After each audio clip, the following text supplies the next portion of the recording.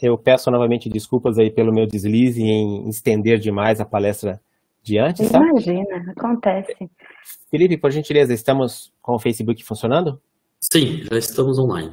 Ok, então eu vou, vou iniciar formalmente a apresentação aqui, apenas com um aviso. Só um detalhe, me passa o direito para eu carregar o arquivo da apresentação? Ah. Eu mandei uma mensagem agora. É, eu... Ah, é verdade, por algum motivo não foi, né? Só um segundinho, deixa eu localizá-lo aqui. É, estranhamente, vamos lá. Vamos ver se foi. Que tal agora? Sim, ok. Só um minuto, deixa. Aguarde eu carregar a apresentação. Perfeito. Eu vou fazer, vou dar algumas informações de início aqui antes de uhum. passar a palavra.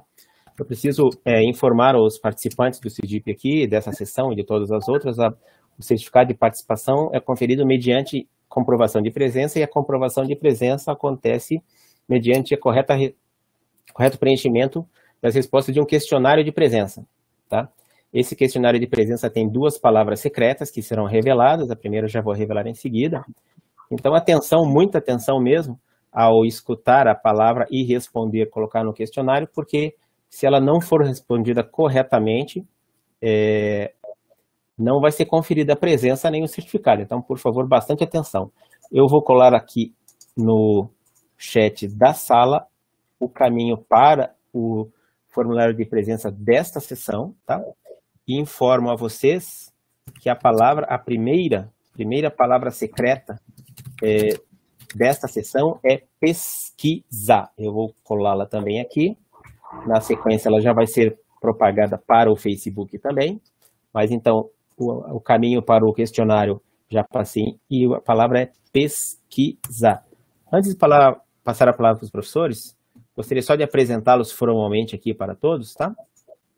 Então, a professora Tayane é doutora em administração pela Fundação Getúlio Vargas, com período de doutorado sanduíche na École des Hautes Estudes Comerciais em Montreal, no Canadá. É, e mestre em administração pela Universidade Federal do Paraná, na área de tecnologia e inovação. Enquanto que o Rodrigo é engenheiro mecânico pela Universidade de Itaúna, é mestre em ciência, gestão e tecnologia da informação aqui pela UFPR. Ele é doutor em gestão da informação pela Universidade Federal do Paraná também. E desenvolve pesquisas sobre teoria e aplicação do Lean Thinking, Lean Office e gestão de processos, gestão da informação, gestão do conhecimento e aprendizagem organizacional. Eu vou passar a palavra para os palestrantes agora. É, palestrantes, se vocês preferirem, pode deixar a, as câmeras abertas, mas se vocês não se importarem, o pessoal do Facebook normalmente gosta que feche porque aumenta o tamanho do slide, eles conseguem ver mais facilmente lá. Fica a critério de vocês, tá bom? Eu vou fechar a minha câmera e meu áudio. Muito agradecido. Tenha bondade. Bom dia. É, apenas uma, uma correção, eu ainda estou no doutorado, então sou doutorando do programa de pós-graduação em gestão da informação tudo correr bem em dois, a partir de 2022, com a defesa, aí sim terei o título de doutor. Apenas essa correção. É, bom dia a todos, a todas que nos acompanham aqui na RNP e também pelo Facebook. É, como fizemos nas outras ocasiões né, do, da, do CIDIP, eu e a professora Tayane faremos uma, uma breve apresentação a respeito do Atlas TI, e a ideia, a gente vai tentar fazer uma parte um pouquinho expositiva, é, de uma forma mais interativa. A professora Tayane vai conduzir a primeira parte. E na sequência eu farei, tentarei demonstrar algumas funcionalidades e aí a gente pode abrir para perguntas, algumas discussões, para a gente ter um pouquinho mais de contato, de de a proximidade assim com o que o Atlas CI pode ajudar na pesquisa científica. Então eu vou desligar aqui, tá? Como, conforme orientado o meu vídeo e passo para você, Tayane.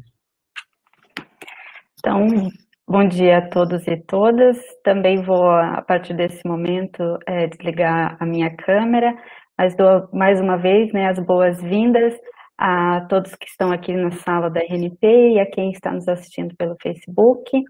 É um prazer novamente estar aqui. E vamos começar então a oficina de Atlas TI. Deixa eu desligar minha câmera e já podemos então dar continuidade. Bom, primeiramente o que é o Atlas TI? Né? É, o Atlas TI é uma ferramenta de suporte para análise qualitativa de dados.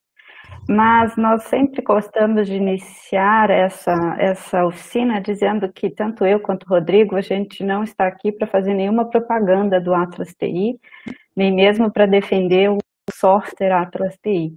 Na verdade, o Atlas TI é um QDA, né, um software que ajuda a análise qualitativa de dados, como tantos outros, ou não tantos, né, mas alguns, como o NVivo, que vocês já tiveram a palestra aqui com o Balbino, como o Max QDA, e o Atlas TI é mais uma ferramenta de suporte.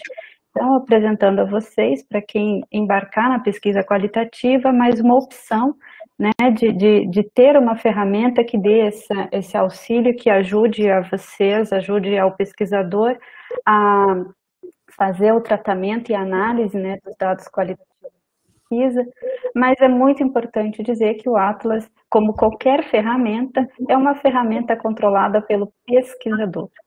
Né? Então, é, é, e é, é isso que a gente inicia sempre chamando a atenção aqui, dentro da nossa, da nossa oficina, que qualquer software ele é manipulado pelas pessoas, né? Então ele não vai fazer milagre, mas ele vai ajudar muito na análise e na pesquisa dos dados, é, dessa análise qualitativa dos dados.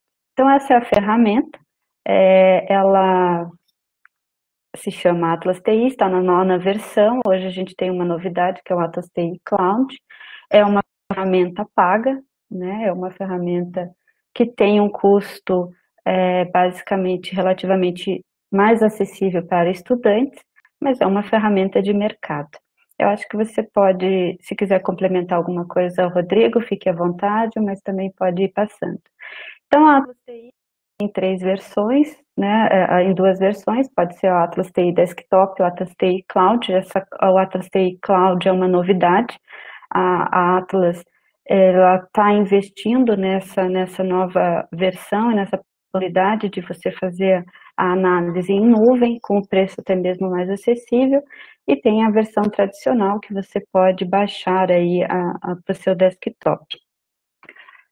É, qualquer informação relativa ao Atlas TI, a gente deixou no slide anterior e vamos repassar para vocês, vocês encontram no próprio site, né, da atlasti.com, que tem todas as informações sobre o software, tem vários é, tutoriais, existe a, né, o quanto custa as licenças, informações de como baixar as licenças e tudo mais, existe dentro deste, de, de, do site da Atlas. E também existe uma versão trial de 14 dias, que é possível para conhecer o software e, e, se familiarizarem com ele, uma versão free de 14 dias, que é uma versão que vocês estão baixando. Mas vamos a, uma questão bastante importante, né? A gente está falando notas de um software de, de suporte para análise qualitativa de dados. Acabamos de sair de uma oficina com Alex, muito boa, por sinal, trazendo análise quantitativa. E aqui a gente vai estar tá né, do outro lado da força, falando da análise qualitativa de dados. E o que, que é uma análise qualitativa? A pesquisa qualitativa, ela busca entender os fenômenos, é, como que eles acontecem, por que que eles acontecem, e diferente da análise quantitativa, que é, são, trazem mais dados numéricos para a gente, é, a análise qualitativa ela é muito mais baseada em, em escrita, em fala, é, em texto, e neste tipo de dado, né, onde o pesquisador busca através de entrevistas, da observação, de notas de campos ou até mesmo né, de análise documental. Então, ela é o, a pesquisa qualitativa tem essa natureza né, de, de tentar entender e abordar questões sobre o, como a experiência social ela é criada e, e atribuir significados, produzir representações deste mundo, é, produzir é, insights e buscar né, uma, uma maneira de entender esse, esses fenômenos com uma abordagem mais interpretativa, mais naturalista. É, mais ênfase às qualidades das entidades, dos processos, os significados de como que elas ocorrem. E é, com relação a isso, a pesquisa qualitativa, ela traz alguns desafios com relação né, à qualidade e à validade dos dados. Então, numa pesquisa, quando você, de uma análise de uma pesquisa quantitativa, não diferente das outras, que você também precisa trabalhar com rigor, relevância, confiabilidade e validade, mas a validade da pesquisa qualitativa, você precisa garantir que as afirmações que você faz, que você está fazendo, ela reflete de fato a realidade. Ela diz respeito às verdades. E a confiabilidade, você tem que oferecer uma clareza, uma certeza de que os seus resultados de pesquisas, eles podem ser reproduzidos em outros cenários. Então, a gente não está buscando aqui uma confiabilidade, uma validade estatística, mas a gente está buscando um, processo de reprodução, um processo de, de afirmação, de validade desses seus dados. E aí, como que você faz isso na pesquisa qualitativa? Você precisa mostrar é, para o leitor, para né, dentro dos seus resultados, evidências daquilo que você está dizendo. E essas evidências podem ser trechos do, do, das entrevistas, podem ser é, fragmentos do teus, do teus textos, fragmentos do teu, uh, das tuas, teu, das tuas né, notas de campo, enfim. Mas, para conseguir isso, neste sentido, o software ele vem a te ajudar. Né? Nesse sentido, o software ele pode é, ser bastante útil e é bastante útil nesse sentido. Qualquer software de análise qualitativa vai ajudar o, o pesquisador a garantir essas uh, validade, a, a, conseguir melhor organizar os seus dados, a conseguir uma uh, facilidade e agilidade na organização e na análise desses dados, na sistematização dos dados, a encontrar é, padrões, a encontrar é, cruzamento de informações, a conseguir confrontar o que o, o que o, entre, entre diversas pessoas falaram sobre um determinado assunto, e ele vai te dar mais eficiência e tempo porque como você deveria de fazer isso né, no modelo, no, no real, né, no mundo real? Quando se trata de análise qualitativa de dados, de uma revisão de literatura, que o Atlas também pode ser útil para isso, você está falando de texto. E aí vários de vocês devem estar se identificando com essa imagem, né? Quem no mestrado, no doutorado não tem o seu livro, o teu texto, o teu artigo, ou as tuas entrevistas, quem faz análise qualitativa, toda coloridinha é, e, e em marca-texto, né? Toda ela marcada, toda ela fragmentada com as suas categorias, com as suas informações pintadinhas, para que você consiga depois fazer esses recortes na mão e, e e interpretação para aquela questão. Por exemplo, eh, a gente vai ter uma parte prática dessa oficina, onde vocês vão poder ver como que funciona o software e ver esses conceitos que eu estou trazendo aqui de uma forma mais realista na prática.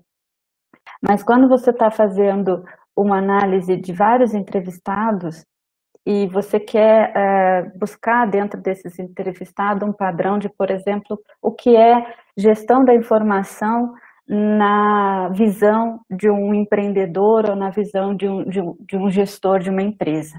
Qual é a importância da, da, da gestão da informação? Então, você entrevista várias pessoas e você vai é, tentar buscar dentro da, da, da fala, né, da transcrição dessas entrevistas dessas várias pessoas, o que é GI para essas pessoas. E aí, se você for fazer isso na mão, você imprimiria todas as entrevistas, você faria essa análise, pintando é, os conceitos, né, e categorizando a fala dos seus entrevistados na mão. No software, a gente praticamente faz a mesma coisa, por isso o software ele é marcado pelo pesquisador, ele é guiado pelo pesquisador. Mas, ao invés da gente fazer isso dentro de um plano em que a gente teria que recortar os filetinhos, marcar de, de, de né, com, com, com marca-textos coloridos, é, depois levar para um, um, Excel, por exemplo, para uma outra para um outro lugar que te ajude a organizar esses dados, o software ele te dá te, te dá tudo isso num único lugar. Então você consegue aí a partir do teu projeto que você cria, né? Você consegue é, marcar todas as falas, ticar todas as falas, criar notas, criar é, comentários, é, categorizar, fazer cruzamento entre, o que, entre categorias e entre é, falas de, de, de, diferentes pessoas ou de diferentes textos que você esteja trabalhando. Tudo que eu estou falando até aqui pode parecer muito abstrato né, para vocês, mas assim que a gente entrar na ferramenta, tenho certeza que, que essas questões vão ficar mais, mais é, visíveis, mais esclarecedoras.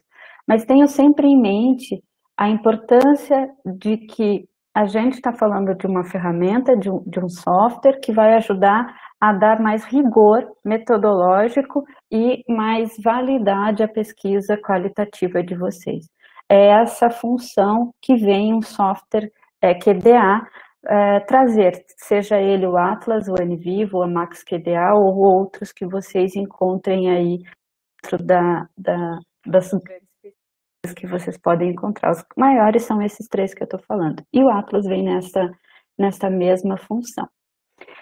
Então, é, como todo projeto, é, o Atlas, ele, você precisa é, ter fases né, de trabalho. E então, dentro do Atlas, você cria um projeto.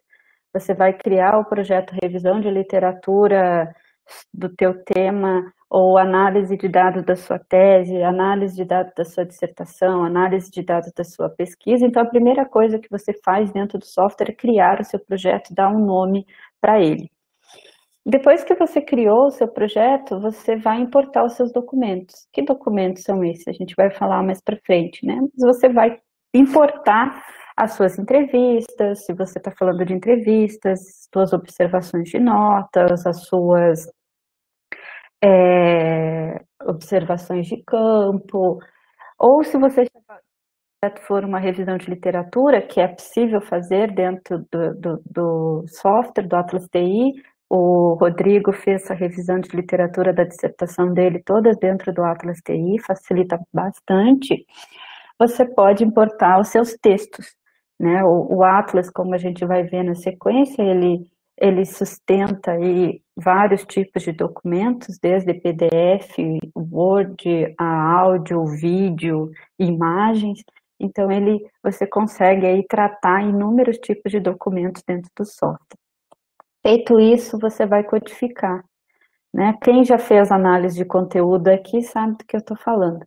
Mas não, não há necessariamente, você precisa fazer uma análise de conteúdo. Né? Aquilo que eu estava falando na imagem anterior se tratava de uma análise de conteúdo, onde você vai buscar categorias né, dentro da literatura e vai buscar no teu material aquelas categorias pré-existentes. Mas o Atlas permite que você codifique os teus, atos, os teus dados indutivamente, né, de forma indutiva, ou seja, né, que a partir da tua, dos teus dados emerjam a, a, as suas categorias, emerjam a sua própria teorização. Feito isso, você vai analisar, né, e aí a análise, onde você pode aí ver quantos, quantas, qual a frequência das suas quotations, quantas menções teve cada código, quantas, é, quem falou o quê, quais são os cruzamentos de redes que você pode fazer, é, quais são os cruzamentos entre categorias, é, análise automática de, de, de, de dados, enfim. Você tem os reports que, por fim, você consegue extrair exportar do software todos esses relatórios que você seja necessário. Algo importantíssimo, né? Faça backup o tempo. E uma dica que a gente fala, apesar do Atlas não ser open source, é, existe várias crackers por aí, né? É possível vocês encontrarem, como para qualquer software, seus crackers da vida. Mas eu sempre recomendo que quando se trata de uma tese, dos dados do teu mestrado, da tua dissertação ou da tua tese de doutorado, faça isso, por mais que doa desenvolver uma grana, mas faça isso no software, é, se for o caso de, de, escolher um software que não seja pago, ele não use versões que não sejam legítimas. É, ou busque softwares abertos, mas faça backup o tempo inteiro, né? Isso vale para tudo porque os backups, além de serem importantes, evitam algumas dores de cabeça.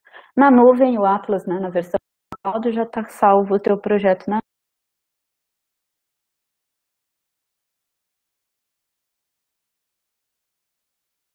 Alô, professora? Seu áudio desapareceu?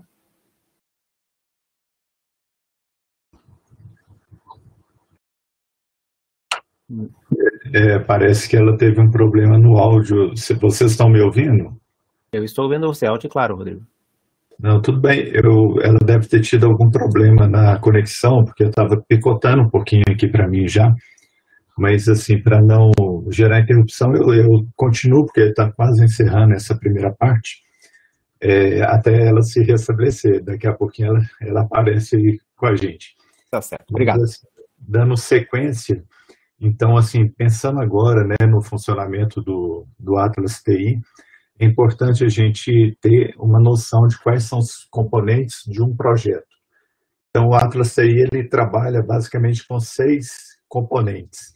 E a partir do momento que a gente entende qual que é a funcionalidade de cada componente, aí sim a gente consegue vislumbrar as infinitas possibilidades de trabalhar com, essa, com esse tipo de software. Primeiro, os, são os próprios documentos, e documento para o Atlas CI é todo e qualquer material de análise que você pretende utilizar no seu projeto. Professora Tayane já comentou, pode ser um arquivo de texto, um arquivo de áudio, vídeo, uma imagem, um gráfico, um mapa. Ele suporta vários tipos de formato.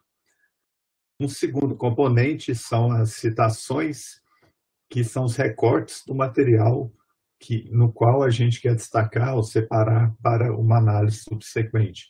Então, fazendo uma analogia no processo à mão, é, quando a gente pega um, um arquivo em PDF, pega o um marca-texto e marca uma palavra, marca uma frase de efeito, de impacto que vai ter significado, relevância para a pesquisa. Então, assim, isso no Atlas aí é o que a gente chama de fazer uma citação, de fazer é o nível mais básico de análise e toda análise ela nasce a partir de um conjunto de citações que o pesquisador vai construindo ao longo da utilização do Atlas TI. Um terceiro componente importantíssimo são os códigos, que os códigos eles representam conceitos pré-definidos ou mesmo aqueles que vão emergindo né, da análise do material. E os códigos a gente pode é, utilizá-lo para é, se adequar ao que tipo de, de método que a gente está utilizando para fazer a pesquisa qualitativa. Por exemplo, se, é, se a gente é, estiver conduzindo uma análise de conteúdo, então os códigos podem representar as categorias de análise. Se a gente estiver fazendo uma pesquisa com teoria fundamentada nos dados, os códigos vão representar as, os níveis de categorização exigidos pelo método da teoria fundamentada. Se a gente estiver fazendo uma revisão sistemática de literatura, os códigos podem nos ajudar a organizar os recortes de materiais, é, os trechos de autores que a gente quer trabalhar mais adiante de uma forma mais sintética. Então, os códigos têm essa, essa função assim, primordial na análise de dados qualitativos no Atlas TI. Os demais componentes são as redes, né, que são construções, é, visualizações gráficas, que facilitam o processo de análise, facilitam a descoberta de conexões entre conceitos, facilitam a interpretação dos achados de pesquisa e ajuda também na comunicação eficaz dos resultados de pesquisa. Embora a, o, o, layout de apresentação assim, do Atlas aí não seja tão assim é, tão, tão bonito, tão, tão amistoso assim, a gente vai ver daí a pouco, é, ele talvez perde um pouquinho em comparação com outras, outras ferramentas que têm um apelo visual mais, mais moderno, mais, mais atrativo. Mas mesmo assim, as redes é, que o Atlas CI permite construir, elas são bem importantes assim para é, facilitar a análise de dados.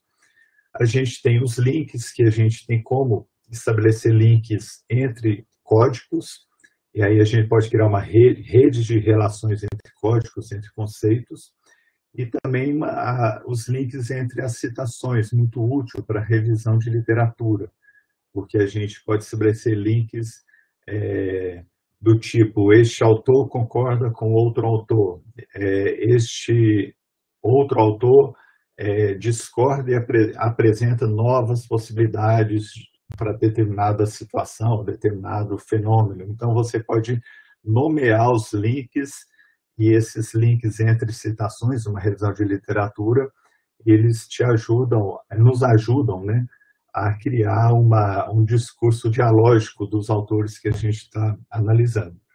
E, por último, componente são os memos, os memorandos, que são blocos de anotações. E a gente pode fazer anotações, relatos, quaisquer apontamentos assim dos insights do pesquisador no percurso de pesquisa e ajudam muito na construção dos relatórios de pesquisa, na construção dos artigos, na escrita da dissertação, na escrita da tese. Então, os memos, a gente pode usar os memos para montar um diário de campo, a gente pode é, levantar questões de pesquisa, pendências, dúvidas, orientações, é, insights para trabalhos futuros, tudo isso a gente pode registrar nesses memos que são blocos de anotações. Acho que Rodrigo, estou de volta. Vantagens de fazer a, a, as oficinas em dupla são essas, ainda mais nesse tempo remoto, né? Então a gente é. vai sempre fazendo uma dupla. eu gosto de fazer o, o estava escutando você, eu gosto de fazer uma analogia aos memos, aos nossos post-its, né? Os memos são os nossos post-its né? Só que ao invés de você deixar eles soltinhos aí, presos em algum lugar, você já vai deixando eles linkados dentro do software com aquele é, momento que você leu, que você refletiu. Assim, acho super legal. É, é um recurso muito útil né? dentro da, da, da pesquisa qualitativa. Exato. Mas pode ir continuando. Eu acho que nós estamos aqui no, no último slide dessa primeira parte. É, isso no, na demonstração do software vai ficar mais claro, mas é importante, assim, talvez será o nosso foco aqui da demonstração, é, é mostrar como que funcionam, né? Três dos principais componentes, os documentos, as citações e os códigos. Então, essa figura ajuda a gente a, a entender o que a gente pode fazer e, e no que o software pode nos ajudar. Imagina que no seu, na sua pesquisa você tem um conjunto de documentos. Você pode ter dois, três, cinco, dez, cinquenta, cem documentos. Então, é, cada documento pode ter formato diferente. Pode, você pode ter documento de áudio, documento de vídeo, documento de texto, você pode ter imagens. E aí já tem uma grande vantagem do Atlas TI, que você consegue trabalhar com diferentes formatos de documentos no mesmo ambiente e atribuir é, os demais componentes a todos esses tipos de documentos diferentes ao mesmo tempo. Então isso é isso é legal. Não é um software que você fica restrito, por exemplo, só a documentos de texto. Ah, eu tenho é, eu tenho áudios, eu vou ter que fazer em outro outro software. Tenho vídeos, vou ter que trabalhar em outra ferramenta. Não, você consegue integrar tudo isso no Atlas TI. Pra, em cada documento, obviamente, como a gente falou no início, o, o Atlas TI não faz o trabalho de pesquisa para, para o mestrando, para o doutorando, para o pesquisador. O Atlas TI, ele nada mais é do que uma ferramenta, uma ferramenta poderosa de suporte à pesquisa mas quem está na direção da pesquisa é o pesquisador. Então, é, ele não dispensa a leitura criteriosa dos documentos, ele não dispensa a escuta é, paciente dos áudios, não, não dispensa a, a releitura dos documentos, a, E, e, por aí vai. É um trabalho exaustivo de investigar o seu corpus de pesquisa e o sucesso da utilização do Atlas TI ele só decorre da, do esforço de dedicação e exploração do corpus de pesquisa. Se para aqueles que acham que o software vai vai entregar um, um bolo pronto e basta entrar com os documentos que ele vai gerar todos os insights de pesquisas, as pistas de análise, é, é, essas pessoas estão enganadas, porque se o pesquisador não se dedicar na leitura, na exploração do material, você não consegue, ele não conseguirá, você não conseguirá fazer nada com o Atlas TI. Então, em cada documento, a partir de uma investigação, de uma análise criteriosa, para os seus objetivos de pesquisa, você vai definir as suas citações, os seus recortes é, de material que serão úteis para os, no seu processo de análise dos dados. Então, um documento pode ter N citações. E aí vem a, a estrutura de códigos que você cria para sua pesquisa, a estrutura de codificação, onde o mesmo código pode ser atribuído a citações de diferentes documentos. E aí é muito interessante, porque você consegue compilar, sintetizar é, a, os dados para a sua análise e uma posterior publicação, comunicação de sua pesquisa né, e, a, e a exposição dos achados de pesquisa. Então é muito importante ter essa, essa visão clara. É, a gente insere os documentos, os materiais, a gente explora no processo de, de fazer as marcações, se fosse no, no papel manual, o marca-texto, e depois a gente entra no processo de, de iterativo de análise, né? é um vai e vem onde você começa a atribuir os códigos, analisa os códigos, e aí, para facilitar o processo de análise, a gente tem aqueles outros, outros componentes que ajudam, as redes, os memorandos e pernites. Então, esse, essa dinâmica de utilização do Atlas aí. Eu vou abrir um arquivo do Atlas e ficará mais fácil para compreender isso. É, é isso, a primeira parte seria isso, a, a professora Tayane já comentou. Para saber mais, a gente indica tanto o site do da Atlas TI, que é o atlasci.com, que tem muito material para aprendizagem, tem, é, você consegue baixar a versão de demonstração, tem as condições de preço de licença, tudo, tudo está disponível no site. E também uma outra dica é o canal do YouTube, que tem muita coisa boa publicada no canal do YouTube.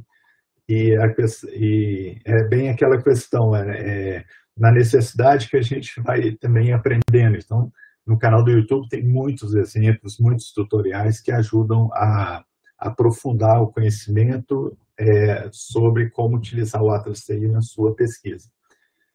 É isso, podemos passar para a demonstração. Não sei se a professora Tayane quer fazer mais algum comentário agora e também é, a gente poderia saber dos ouvintes se alguém tem alguma dúvida, alguma pergunta que queira fazer agora, antes da gente entrar para a parte de demonstração. É, eu acho que se alguém tiver alguma dúvida pode deixar no chat, enquanto o Rodrigo vai abrindo o Atlas, que agora quando a gente for passar para a parte né, da mão na massa, que é a demonstração do Atlas, algumas coisas vão ficar mais claras para vocês. E eu acho que cabe ressaltar, né, Rodrigo, como você mesmo estava falando, desse processo, né, de, de da, da, pesquisa qualitativa, né, do, da, da iteração com os seus dados, e o quanto isso pode ser até facilitado depois na maneira de expor os, o, as suas evidências num texto, né, numa possível publicação, ou até mesmo na, na dissertação, é, ressaltando essas suas falas. E, e também, né, que, que o, o, o, o software em si, eu acho que é, é super válido, é, é muito é, é, facilita a vida da gente é, como pesquisador, mas eles, você opções aí que vocês podem estar. Tá, é, existem, a né, pergunta da Denise, existem muitas é, diferenças entre as versões 8 e 9, né? É, ah. Quer comentar, Rodrigo? É, a questão, a questão é a seguinte, na, na, na versão desktop, é, praticamente são, são melhorias, aperfeiçoamentos. Uhum, de layout, né? Correções de alguns bugs, alguma coisinha que talvez possa ter sido reportada pelos usuários. Nada substancial da versão 8.9 no ambiente de desktop. A grande, a, a, a grande é, novidade da versão 9 é que a licença da versão nova, 9 ela já inclui a, o acesso ilimitado na, na nuvem, na, no Atlas TI Cloud.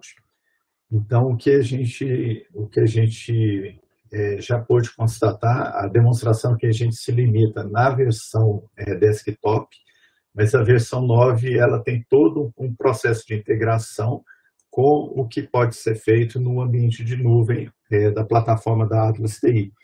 E aí aquilo né, que eu comentei um pouquinho atrás, com relação ao apelo visual das redes e, dos, e das saídas do Atlas TI na versão desktop, ao meu ver, a Atlas TI é, ela direcionou os, os esforços para o desenvolvimento da versão cloud. Então, ela é uma versão muito, muito interessante, que ela facilita a colaboração de equipes de projeto é, na nuvem, aí você pode é, integrar os dados que você tem na com a sua versão top. Então, essa é a grande sacada, vamos dizer assim, da versão 9. É, em termos de, de licença para estudantes, não olhei assim, é, para outros públicos, mas o preço continua o mesmo, 99 dólares para de dois anos. E aí a versão 9 inclui tanto o desktop como a versão cloud. É, obrigada, professora Denise, acompanhando a gente aqui. É, tem dúvidas da Suelen e da Patrícia? Acho que você pode ir abrindo o software ou, ou... Isso, é, Rodrigo. Eu... Mas a dúvida da Suelen é em relação a, a dados em formato de Excel, em, em, tabelas dinâmicas, e perguntando se o, se o Atlas permite formatar essas tabelas. O Atlas, ele, ele permite você trabalhar e exportar dados até mesmo para SPCS, mas ele majoritariamente é um, é um, software de análise qualitativa. Teria que dar uma olhada no tipo de, de dados você está falando aí, Suelen, mas o que me, me, aparentemente me mostra que são dados quantitativos, né? O que limitaria aí o uso dentro do Atlas TI mas é, depois o número, com relação ao, aos dados do Atlas, a categorias, a, a, a, links e citações e a números, né, da, ele exporta tabelas com relação a números de quotation, relações é, entre número de documentos e, e número de, de, quotations e citações, né, códigos e citações, e ele pode exportar, inclusive, para outros softwares que são de análise quantitativa de dados, tá bom? A, a Patrícia Belotti está falando que é uma ferramenta, uma potência de solução para análise de dados dinâmicos, com uma condição do pesquisador, muito bem. A, o Jefferson está dizendo que a professora Helena falou sobre a dicotomia da existência entre pesquisa e quant, vendo a apresentação sobre NVIV e Atlas até agora, vemos que um, que um tipo de pesquisa pode contribuir com a outra, certamente. É, certamente, Jefferson. É, a gente tanto falando, a gente está falando aqui, hoje a gente teve a apresentação antes do majoritariamente quantitativa, né, que, que alguns de vocês acompanharam, do, do, do Alex, agora a gente está apresentando análise qualitativa de dados através do Atlas TI, do, o NVivo também é um software muito similar ao Atlas TI, é, com a mesma proposta, só que com características um pouco diferentes, mas fazem a mesma coisa. Essa é a verdade, né? E a diferença, é, é, só que é complementar. Uma das coisas, assim, é que depende do tipo de pesquisa e de qual paradigma, né, que você está se posicionando quanto pesquisador. Uma das coisas, quando a gente fala aí de uma pesquisa qualitativa mais positivista, né, para quem está aí seguindo algumas correntes mais positivistas, o número, o quantitativo é, de, de, de, número de citações, número de códigos e, e quantas citações em cada código, é, ele é bastante representativo e você pode usar, inclusive, isso como, como argumento dentro da tua é, visão. Ó, dando aquele meu exemplo de GI, né? Na visão dos gestores de informação, a categoria que mais mostrou relação com a GI é a análise de dados, por exemplo, que teve tantas, sei lá, teve 50 citações. Então, você pode usar esses quantitativos, e o Atlas te permite isso, né, as matrizes que, que dentro dos relatórios, que são é, de números mesmo, de quantitativo de citações para cada um dos códigos ou número de documentos. Mas existe né, que, que é mais é, interpretativista, mais é, que está mais é, realmente está tá mais ligada ao significado, né, a, a, as relações, que aí o que realmente vai nos, nos, nos ajudar é as evidências. E aí essa visão de que aquele, às vezes um código teve poucas citações, mas ele é bastante representativo porque ele é forte em sua coerência interna e, e, e, quando você faz a triangulação dos dados. Então, às vezes, tem essas... E, e essa complementariedade certamente é, é, muito importante na pesquisa. Bom, acho que o, o, o Rodrigo está pronto aqui para abrir o Atlas. Se quiser Isso. complementar alguma coisa, Rodrigo. Não, tá, tá, ótimo. Se eu não me engano, foi a Suelen que perguntou alguma coisa de Excel. Eu posso comentar um pouquinho ao longo da demonstração. Eu, eu apenas gostaria, tá, professora Tayane, que você me desse um, um suporte, me dando feedback se der algum problema na demonstração. Porque vocês já estão vendo a tela do Atlas CI, não é isso? Isso, estamos vendo então, teus projetos. É, eu vou ficar aqui falando para a tela do meu computador e estou conversando sozinho, estou um pouco louco. Mas é, se der qualquer problema, porque eu não, não consigo é, acompanhar se a transmissão, por exemplo, vai sofrer alguma interrupção, então você me dá um, um alerta aí no áudio, tá ok?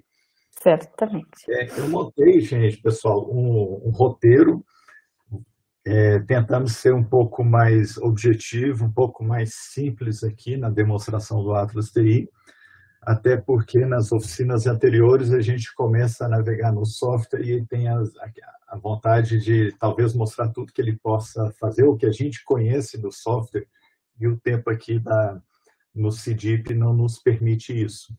Então eu vou passar por questões básicas, né, de uma, uma demonstração mais básica do Atlas TI, e se isto ajudar a despertar um interesse da plateia, dos ouvintes que nos acompanham, de, de é, entenderem que o Atlas TI pode sim ser uma ferramenta útil para o desenvolvimento da pesquisa que está fazendo no mestrado, ou doutorado, ou um outro tipo de trabalho qualquer, a gente recomenda é, baixar a versão de demonstração e, como a professora Tayane comentou, você terá alguns dias com acesso completo às funcionalidades e depois ela fica funcionando numa versão limitada e aí você pode aprofundar e estudar um pouco mais sobre o Atlas TI. Então, a primeira questão com relação ao Atlas TI, é, o, que, o, o nosso espaço de trabalho no Atlas TI, ele ele é chamado de projeto. Então, a primeira coisa que a gente precisa fazer ao utilizar o Atlas CI, é assim que a gente abre o, o Atlas CI, a gente precisa criar um novo projeto. Se eventualmente eu já tiver um, um projeto antigo e, e quero trazê-lo né, para a minha versão desktop, eu posso fazer a importação do projeto. Então, no caso específico, é bastante simples. A gente clica aqui no botão de pra, no botão criar novo projeto e a gente dá um nome para o, o projeto. Então, por exemplo, oficina Atlas TI 2021. Então, a gente, fazendo dessa forma, a gente clica no botão criar e aí esse, esse espaço de trabalho vai ser criado, esse projeto vai, vai ser aberto totalmente vazio e é nele que a gente vai trabalhar. Então, a partir do momento que a gente cria o projeto, a gente é, passa a trabalhar única e exclusivamente neste ambiente. Então, o que, que nós temos aqui? Vocês vão ver, é, tem algumas, algumas informações básicas no centro da tela. Eu tinha uma licença de estudante que eu utilizei no mestrado, ela já expirou, então eu continuo é, acessando apenas, apenas essa, essa versão de teste, né, nesse modo teste, que ele tem as suas limitações. Então, voltando um pouquinho naqueles componentes que eu comentei na... No... Rodrigo, você consegue só dar um, uma, um zoomzinho no Atlas para deixar ele um pouquinho maior? Olha, agora, agora eu acho que não, tá? Tá bom. Porque eu posso até tentar, mas eu acho que é a questão da resolução aqui da minha tela. Tranquilo, tranquilo. Eu acho que isso pode, é, na hora que eu estiver fazendo o documentos, os códigos, aí tem o recurso de zoom. Mas nessa tela principal, ela fica realmente fica pequenininho. Eu tenho medo aqui de mudar a resolução do computador dar algum problema. Não, não, tranquilo, tranquilo. É, tá? Mas é, depois eu até recapitulo isso um pouquinho aí, depois que a gente fizer a demonstração. Mas é, o que, que, é importante a gente ver? Eu não vou é, é, dedicar o, o, tempo navegando em todos os, os comandos mas é importante a gente ver aqui, ó, os aqui nessa parte de gerenciadores, é, a gente tem os componentes, aqueles que eu mencionei, documentos, citações, códigos, memos, redes e links. É, Tayane, quando eu passo o mouse, vocês estão acompanhando? Sim, né? Sim, sim. E aí, é só uma dica, até foi colocada também no, no bate-papo, é, para quem quiser acompanhar melhor, tem um, a, a opção de alternar compartilhamento para tela cheia no cantinho, aí fica mais visu, visível para quem está assistindo. Ok. Então, pessoal, aqui a gente tem o menu de comandos aqui, tem uma barra lateral, um explorador aqui, a, a interface do Atlas CI ela é muito familiar a quem está é, é, acostumado a trabalhar com os aplicativos aí da, do pacote Office, mesmo no, no, no, ambiente do Windows e também no ambiente Mac. Então, não tem muita, não tem muita novidade. Então, isso é, é, é bem familiar, fácil, muito fácil de aprender. O que eu gostaria de destacar é que além da documentação disponível no site, o Atlas ele tem algumas ajudas é, mais resumidas de contexto. Então, quando a gente posiciona o mouse, ele abre um pouquinho explicando o que é cada um, cada componente, cada comando. Então, isso vai ajudando a gente a, a entender e aprender como que a gente utiliza o software. Então, isso é bem interessante, vale a pena para quem nunca utilizou o Atlas é, ler essas informações porque elas serão úteis aí na utilização. Então, aqui está o nosso projeto, então, o menu inicial. Aqui na aba arquivo, uma coisa que a gente comentou, é, tem um comando exportar, que é justamente a questão de criar os backups, né? E é interessante a gente fazer backups progressivos aí na utilização do, do, do Atlas TI. E, e aí a gente tem aqui a parte de adicionar documentos, novos componentes, aqui estão os, os, alguns dos componentes que a gente pode acrescentar. E a gente tem aqui uma outra aba que possibilita a gente pesquisar o projeto inteiro. Então, eu tenho 50 documentos, quero pesquisar uma, uma determinada palavra. Então, a gente pode utilizar aqui e por aí vai. É, eu vou inserir um documento aqui para a gente entender melhor como que a gente utiliza o, o vai, vamos falar assim, vai é, dando vida para o projeto no Atlas AI. Então, a primeira coisa, adicionar o documento, a gente tem vários caminhos para fazer isso. O primeiro aqui, que eu vou mostrar, é o botãozinho para adicionar documentos. Então, ele está abrindo aqui para mim, não sei se vocês vão conseguir visualizar uma, uma, aba, uma aba do explorador de arquivos do, do, do Windows. Ai, desculpa aqui, que só um minutinho. Eu não sei se essa, quando eu abro aparece para vocês. Parece sim. Tá aparecendo? Uhum. Deixa eu ver o que que... Só um minutinho para... Eu tentei ir por um atalho, pelo atalho ele não... Ele não conseguiu abrir o link do atalho. Então, eu, tô, eu tenho um conjunto de textos aqui. Eu vou simplesmente colocar... Eu estou marcando alguns dos textos que eu pretendo trabalhar na oficina. Então, eu estou selecionando os textos e aí a gente dá o abrir.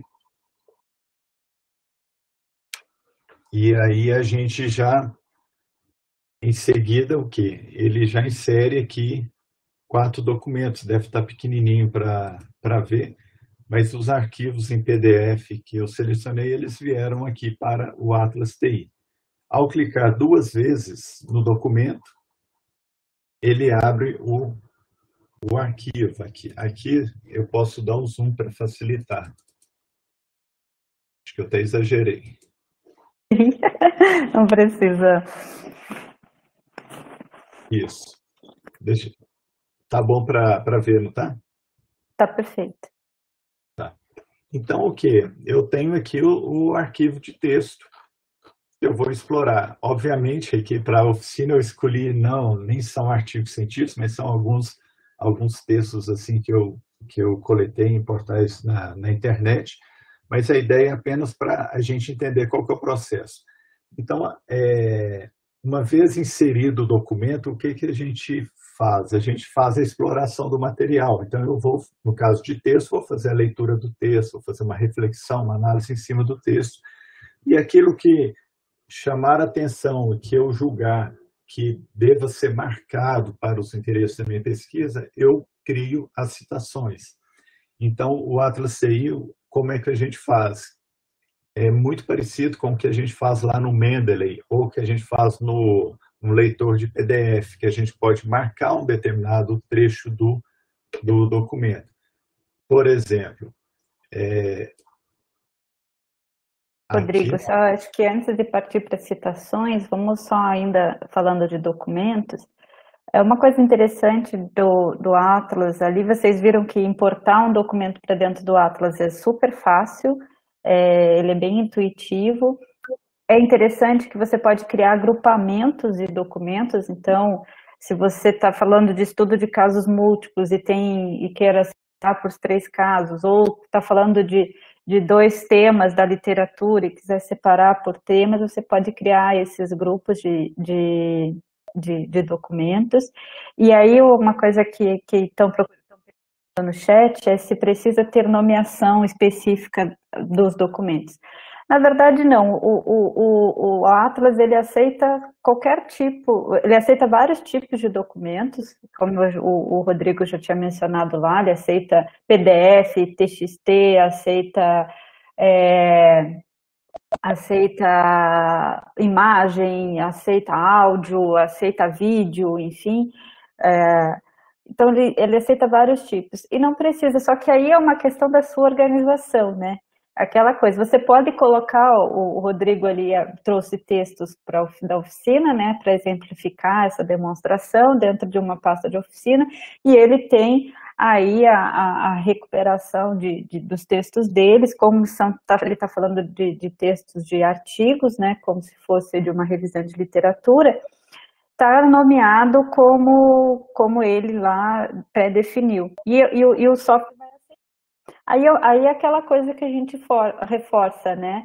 O software ele aceita tudo e ele vai trazer o nome que está no arquivo para você, sabe? Então, se, se, o teu artigo lá, o teu arquivo tem o nome, como o Rodrigo colocou aí, texto 1, texto 2, texto 3, o, o exatamente como ele está nomeado, o software vai trazer para dentro dele. Então, o que a gente sempre sugere é o tratamento dos teus dados, né? Então, se são entrevistas, já organizem as suas entrevistas, é, conforme a, a, a, tua categorização, né? A, a entrevista 1, tal, entrevista 2. Então, essa organização é muito importante, né? A organização dos dados prévios, como qualquer pesquisa, é antes né, de, de importar. Mas você também pode depois renomear qualquer né, coisa, você tenta renomear dentro do, do, do, do software, enfim. Mas a gente sempre sugere, né, Rodrigo, que você faça essa organização, como o Rodrigo fez ali, texto 1, texto 2, texto o nome do texto do lado, o software vai enfortar é, direitinho, né? Isso, exa exato, essa organização, essa organização é do usuário, e aí eu vou, vou, vou sintetizar a resposta, fica, fica é, de acordo com a preferência do usuário. É.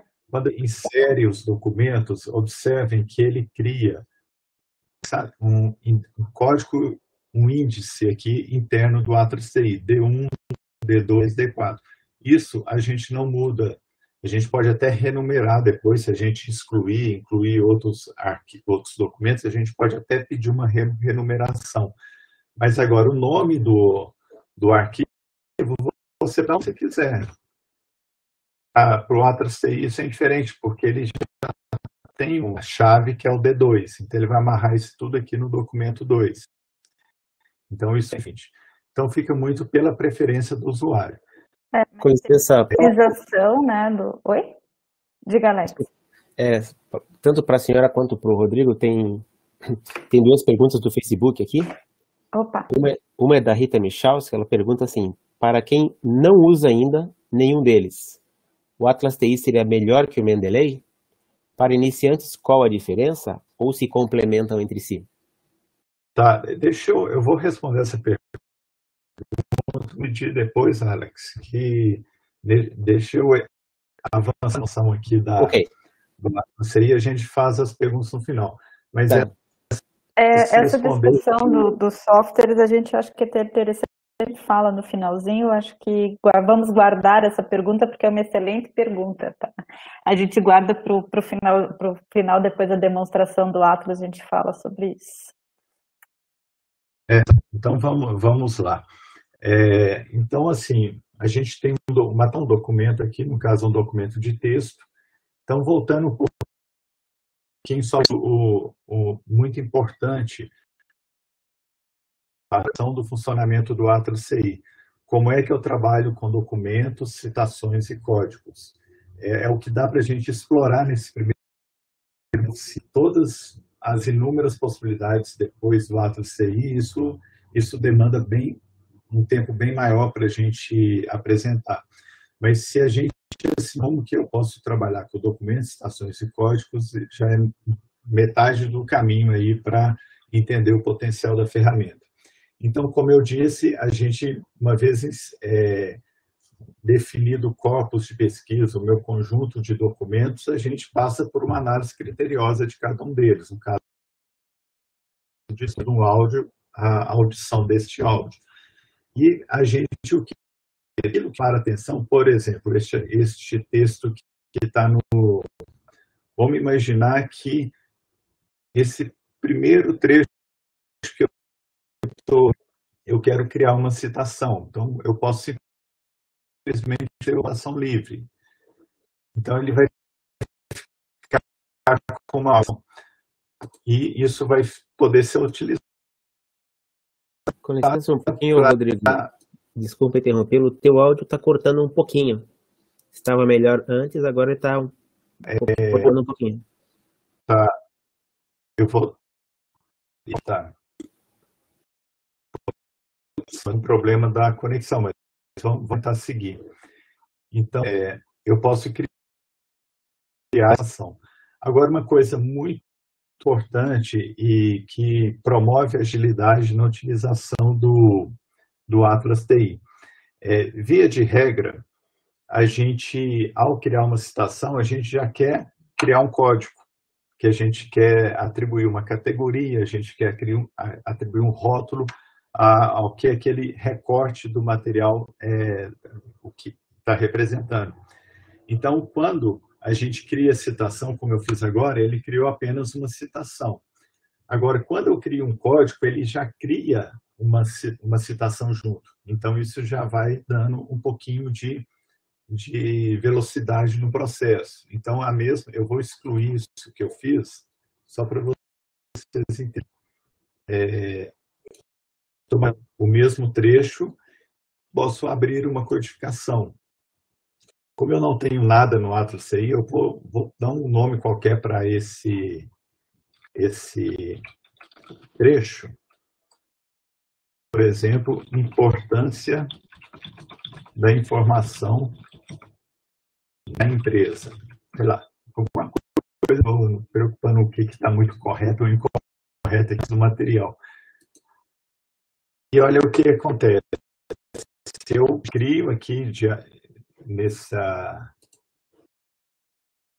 um, em azul aqui, que é o trecho selecionado, que é a citação, e já tem um código atribuído, importância da informação na empresa.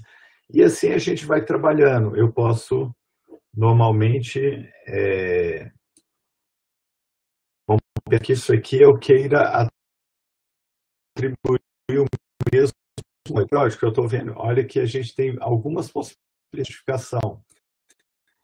Então, eu já posso marcar, por exemplo, aquele mesmo código.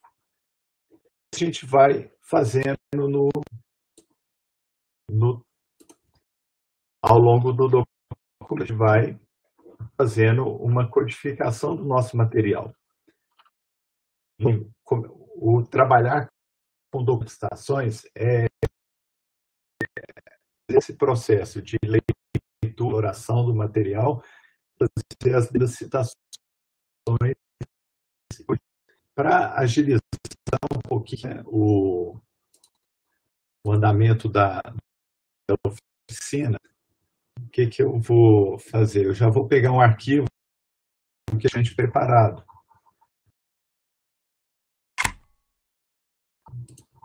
Só um minutinho.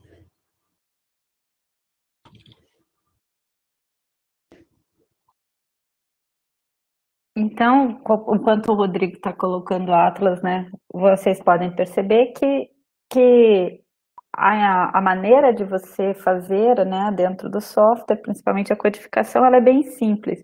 Ela é uma leitura e a partir dessa leitura você vai, é, como se você estivesse marcando mesmo né, o, o trecho que você reflita né, a, aquele determinado código, é como se você estivesse ticando ele lá de marca-texto e você atribui um label, um código àquele trecho de uma maneira bem simples. E aí você pode, uma vez que você tem um, um grupo de códigos já é, colocados, como o Rodrigo agora vai apresentar, você pode ir remarcando o, o, o mesmo código para várias outras citações. Rodrigo, pode continuar agora. Eu abri um outro projeto, pegando texto, texto que fala, é um, é um trecho de um artigo que fala sobre dados e informações. E esse a gente já deixou um pouquinho é, para a gente ver que a gente pode trabalhar. Neste artigo, é, aqui eu tenho a referência ali, é uma parte do, do artigo Informação, a Política Informacional das. É, os autores colocam, trazem da literatura várias definições de dado e informação. Então, aqui, o que, que a gente fez? Essas definições, a gente atribuiu um código que a gente deu o nome de mais, adi mais adiante, ele traz conceituações para informação. A gente atribui um código para cada uma dessas situações o mesmo código informação. Extrato de documento onde a gente extraiu definições de dados e definição de informação. Então, este foi um dos, dos documentos. E aí a gente fez no outro o profissional de GI.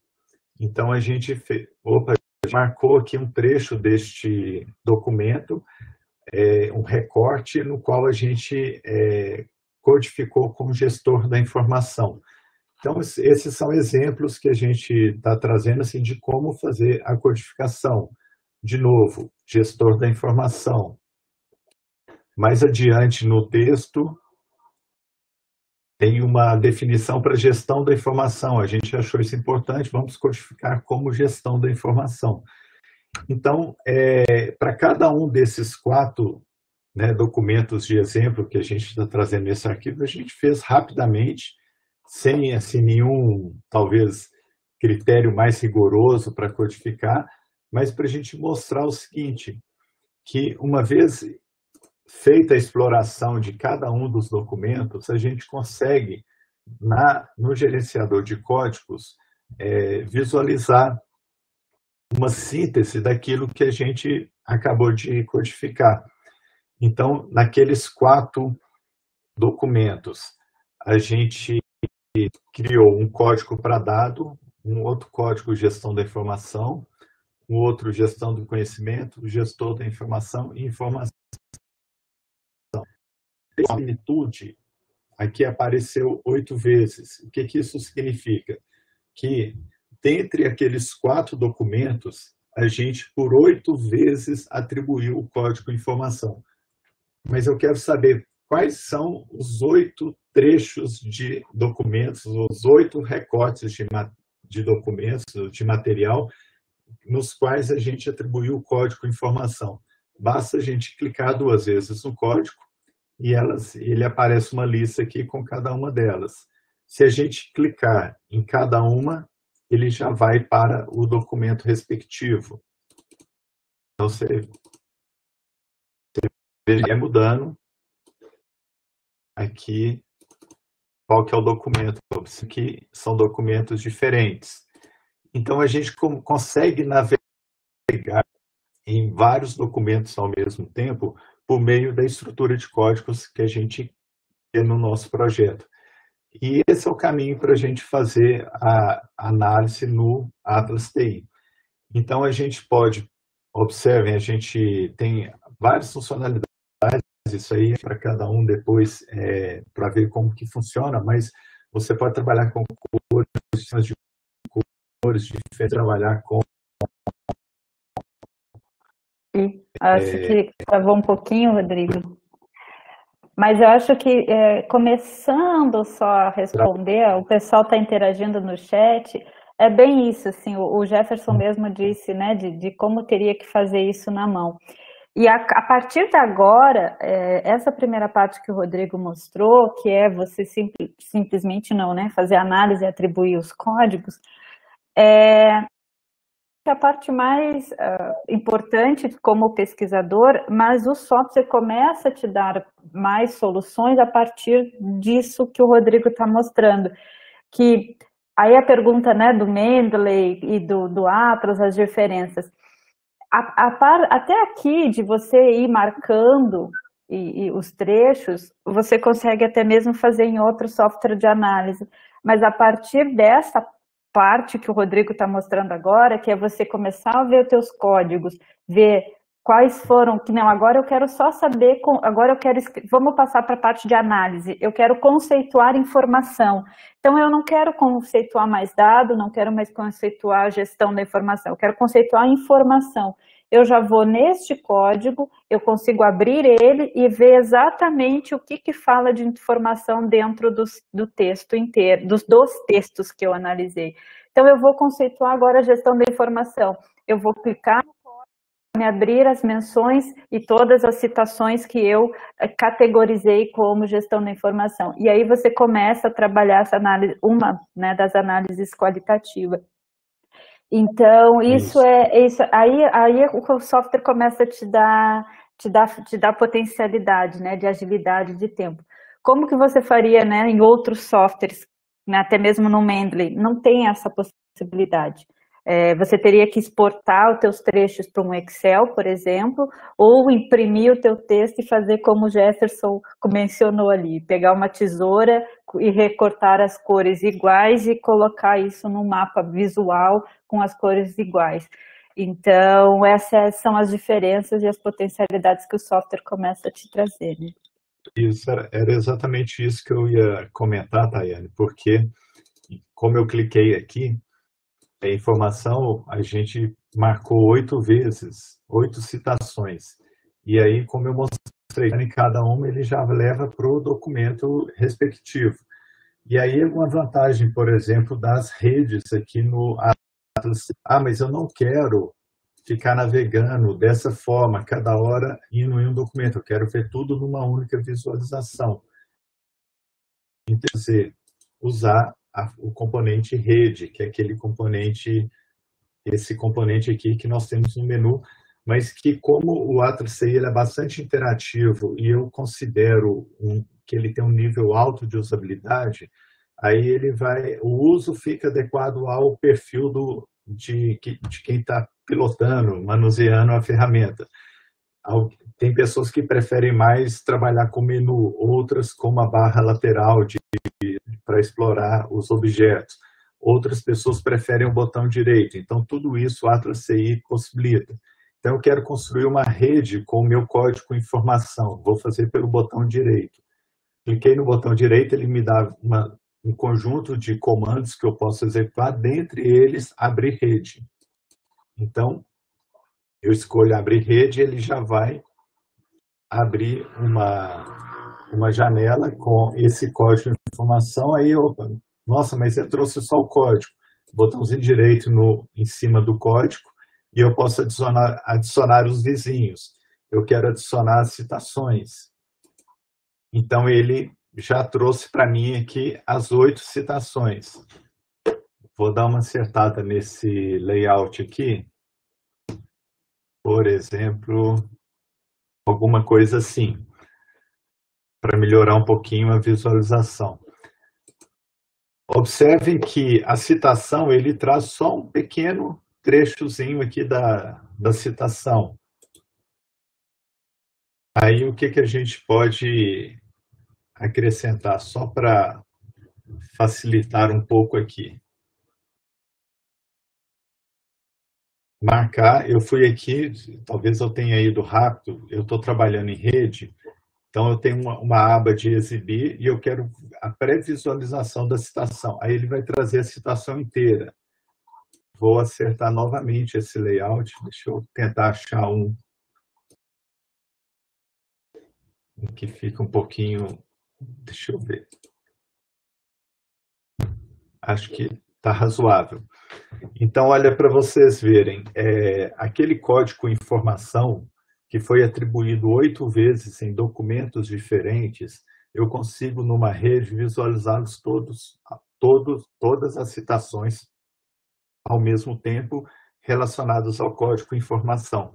E aqui, como eu estou pré-visualizando a, a citação, ele traz a íntegra da citação.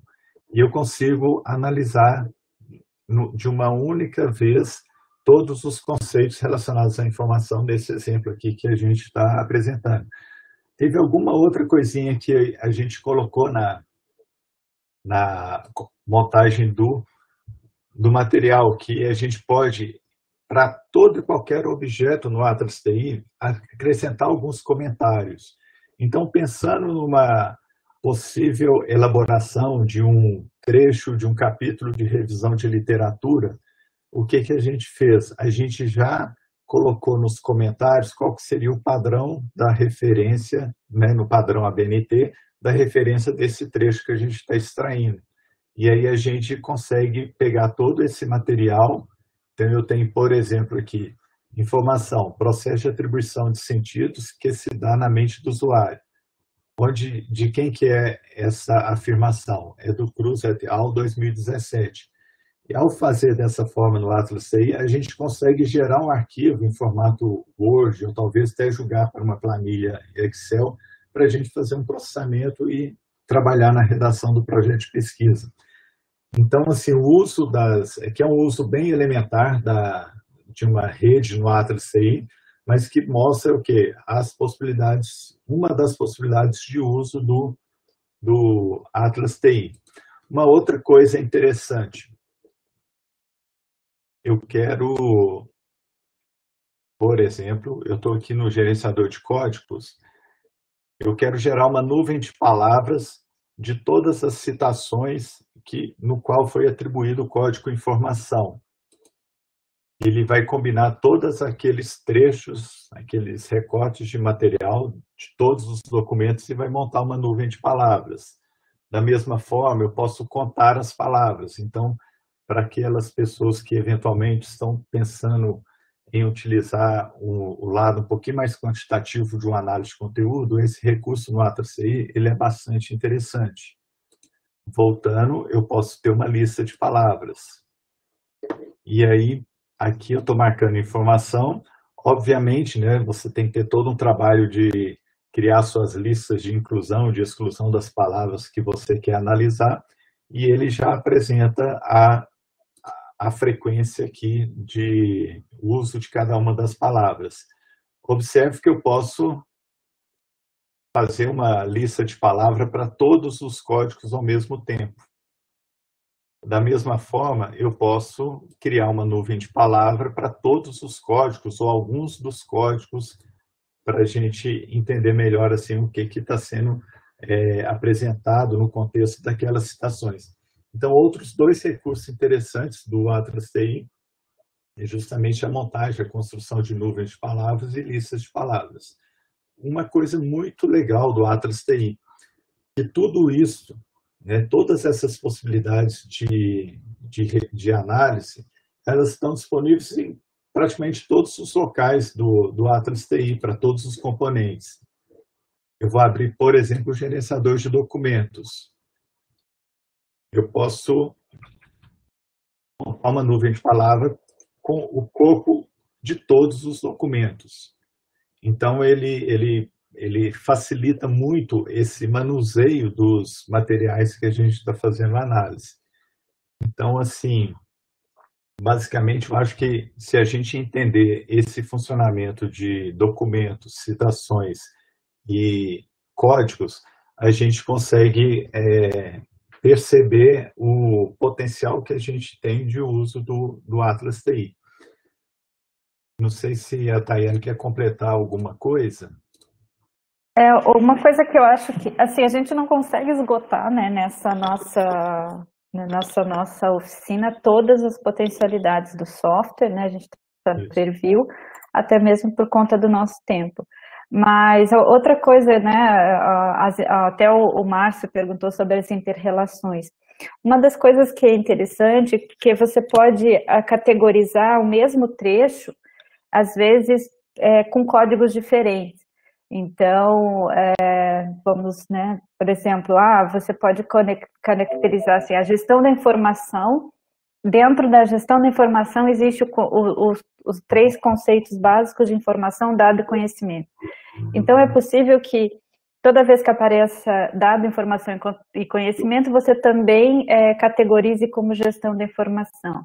E aí, dentro da tua rede, você pode árvore mesmo, né? Como se fosse uma árvore. Gestão da informação, ela contém informação, dados e conhecimento, três categorias, e montar essa árvore, né, com a interrelação entre esses três conceitos e a, e a GI, por exemplo. Então, ela tem várias potencialidades que você pode utilizar.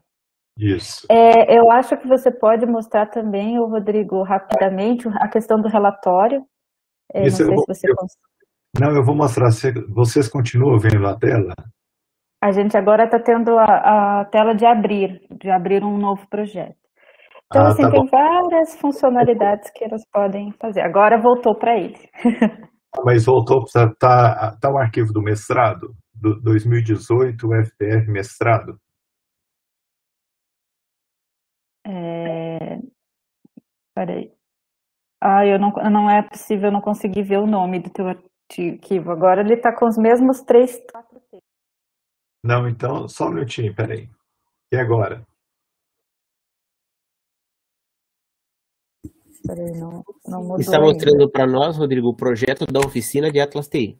Ah, tá bom. É porque o para eu, eu só um minutinho, tá? Porque toda vez tem que Sair e entrar de novo. Tem que alternar a janela, esse é um problema aqui na transmissão. E agora está aparecendo? Está vendo? Agora sim. Tá. Isso, agora o projeto é o FPR mestrado, isso aí. Isso, isso exato. agora veio. Exato, 2018 aqui, FPR mestrado. Aqui, só para ter uma ideia, este, este aqui é o, o arquivo, não, não, me lembro aqui, se eu não me engano, ele é a última versão do que eu trabalhei no mestrado, mas para a gente é, entender um pouquinho, eu vou abrir aqui o, o gerenciador de códigos. Então, olha, olha o que aconteceu.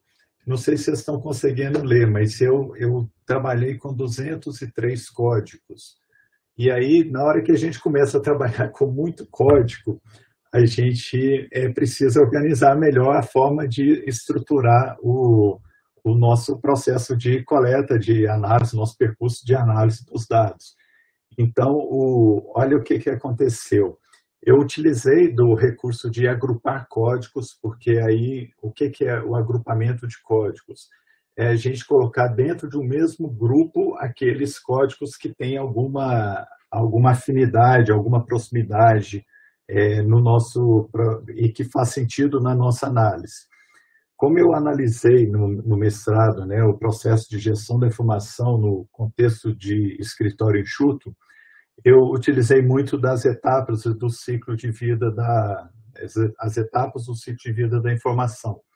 Então, aqui não sei se vocês vão começar conseguir a ver melhor, mas só para ter uma ideia, eu tenho todo, toda uma estrutura de codificação que eu utilizei ao longo do ao longo do da análise dos documentos que eu trabalhei no mestrado.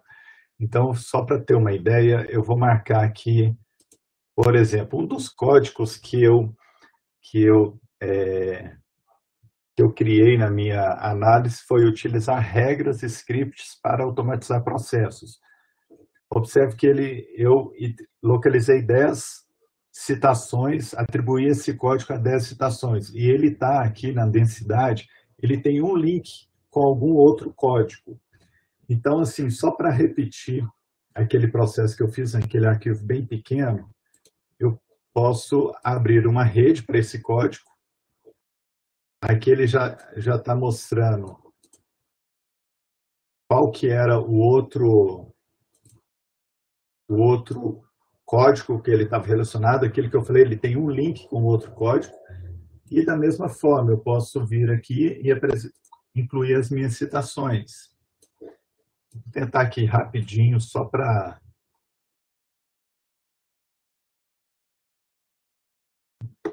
Sei lá, só para não... É, aqui não ficou muito legal esse layout. Para alguma coisa assim. E da mesma forma. Fazer uma pré-visualização. Claro, tem um pouquinho de trabalho aqui para acertar o layout, mas eu consigo ver, eu estou fazendo uma análise, recuperando tudo aquilo que eu marquei com utilizar regras e scripts para automatizar processos. E eu consigo ter uma ideia de todo, tudo aquilo que eu marquei no meu material. Observe uma coisa, cada citação em vez de no título aparecer o, as primeiras palavras da citação, uma, um trabalho, um esforço que eu fiz na minha pesquisa de mestrado, eu também nomeei cada uma das citações, porque eu trabalhei numa lógica de, de conceitos e indicadores. Cada código na, no Atlas TI para mim era um conceito e cada citação um indicador, algo que que aquele conceito é, tinha uma relação assim reflexiva. Então, quando eu identifico, por exemplo, eu identifiquei num determinado artigo que eles estavam falando de automação de rotinas de sistema de TI. Então, isso é um indicador que reflete o meu conceito de utilizar regras e scripts para automatizar processos. Por exemplo, um outro aqui, criação de regras de validação e integridade de dados. Isso é um indicador que reflete a utilização de regras para automatizar processos. Então, o meu processo, no meu processo de análise no mestrado, eu fui fazendo dessa forma, com muito critério, nomeando cada uma das citações, nomeando cada um dos códigos para representar os conceitos. E eu pude construir isso para quem é, tiver acesso na, na minha dissertação de mestrado, por exemplo, é, tratamento da informação. Esse layout, aqui ficou bem pequenininho, mas eu posso dar um zoom. Esse layout que eu fiz no Atlas TI, ele, ele traz aqui em amarelo todos os conceitos que eram de uma situação antes da implementação do escritório enxuto, no que diz respeito ao tratamento da informação, e depois, em verde, os conceitos que foram identificados após a implementação da do, do escritório enxuto. E aí, as setinhas, vocês podem dar uma olhada aqui, a gente tem a possibilidade de nomear os relacionamentos. Aqui são aquelas, aqueles links, hiperlinks que eu comentei que a gente pode fazer entre códigos e entre citações. Então, a gente tem aqui, só para dar um exemplo, é, realizar transações em sistemas de, de informação. Em amarelo aqui, que está na situação anterior. E aí eu tenho vários códigos aqui e o tipo de relação, prejudica, prejudica, melhora, facilita e por aí vai. É, eu estou mostrando isso para ilustrar, assim, a gente pode, inclusive, trabalhar com a, a ideia de construção de mapas conceituais dentro do Atlas TI. Quando e Rodrigo, tá, uma pergunta falar. do Facebook que eu acho que com essa explicação a gente já pode também responder, que é do Rodolfo. Ele pergunta se o software faz alguma relação entre termos é, e, por exemplo, se em respostas de questões abertas, se existe algum termo que frequentemente aparece associado. É, o, o, Rodrigo está mostrando bastante isso, a relação entre os códigos, né? Acho que, que isso, dentro das redes, a gente consegue mostrar, mas é, cabe falar para o Rodolfo, talvez esclarecer também, que ele não faz, é, até tem uma, uma, você pode colocar dentro do Atlas, assim como do NVivo, existe algumas regras que você pode fazer a codificação automática. Eu particularmente não sou muito fã disso, mas às vezes é uma saída para uma primeira análise prévia.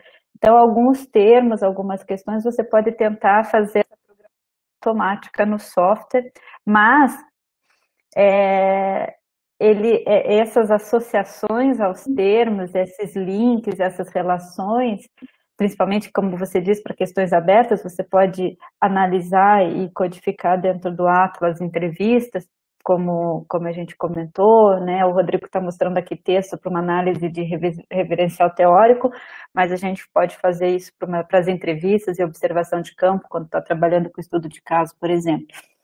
É, a relação, a codificação, tudo isso que o Rodrigo mostrou em tela, todos esses uh, códigos amarelinhos, é atribuído pelo pesquisador, né?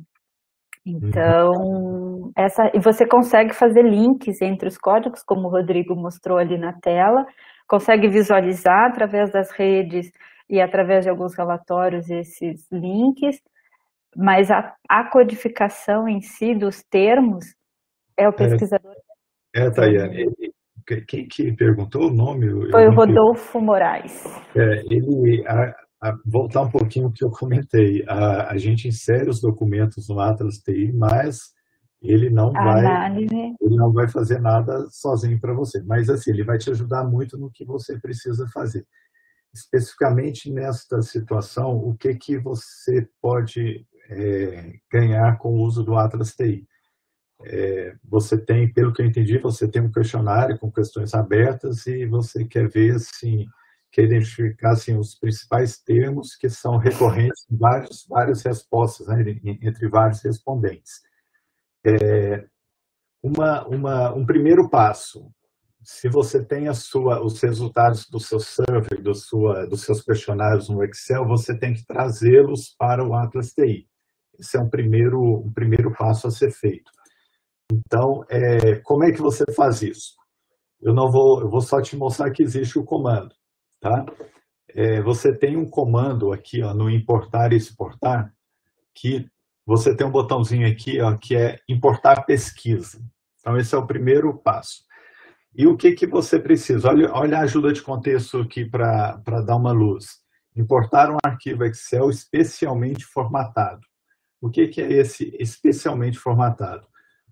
Na documentação do Atlas TI tem um capítulo, uma, uma seção de um capítulo que trata da importação de dados de pesquisa. E ele orienta as possibilidades de você dar nome às colunas do seu arquivo Excel para isso ser interpretado no Atlas TI é, de uma forma mais inteligente. Por exemplo, uma questão, a, uma questão, a, é, uma determinada coluna, uma determinada variável do seu questionário que está ali é, tabulada numa planilha Excel. Você quer, é, você quer que aquilo seja um código é, que, de uma questão aberta, que foi a sua pergunta. O outro é uma questão de múltipla escolha. Como é que ele vai interpretar a múltipla escolha?